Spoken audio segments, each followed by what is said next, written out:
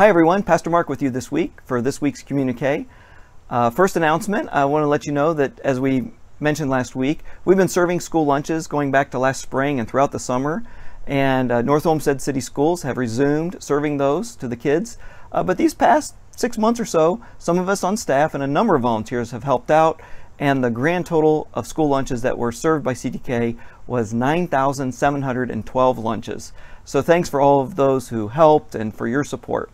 Also want to let you know we're planning to uh, move our worship service that's been meeting outdoors to the indoors and meeting again in our sanctuary. That would be starting in October. So the first Sunday would be October 4th. Now we're going to monitor what's happening in our county and we'll adjust if necessary.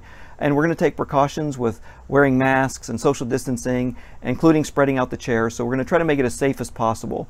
And if uh, for you personally, for your health and your risks, uh, if you feel safer uh, to just watch at home, we're going to still continue to offer our services online. That's not going to change. In fact, we even installed new cameras uh, with plans to start live streaming our services.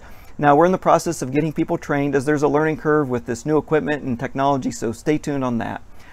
You know, this morning on the news, I saw uh, they did a little study and they said with this pandemic, 60% of people uh, mentioned or reported that they feel drained, that they just feel more drained. And I would say I'm in that 60%. I feel more drained than usual. And it reminded me of a, a, Bible passage found in the book of Isaiah in chapter 40. It says, The Lord is the everlasting God, the creator of the ends of the earth, and he will not grow tired or weary, and his understanding no one can fathom. It says, He gives strength to the weary and increases the power of the weak. Even youths grow tired and weary, and young men stumble and fall. But those who hope in the Lord will renew their strength.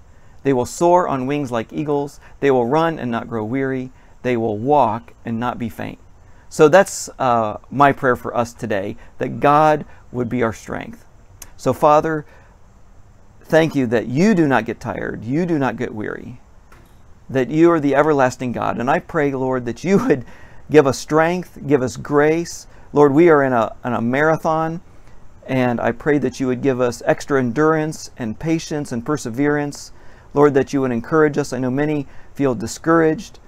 And Lord, I pray that you would uh, shine your light in our hearts. Fill us with your hope. And Lord, teach us the things you're wanting us to learn. Uh, I believe you're um, wanting us to grow through this, that we're not to be stagnant or plateau. So help us uh, the ways you're wanting to grow us, to, that we would deepen our relationship with you, that our roots would go down deeper into the well. We're, we're seeking uh, resources beyond our own, supernatural resources, that you would, would nourish us and strengthen us, not just physically, but spiritually, Lord. Renew us, renew our souls. Fill us with the hope and the peace that we have because of the gospel of Jesus Christ.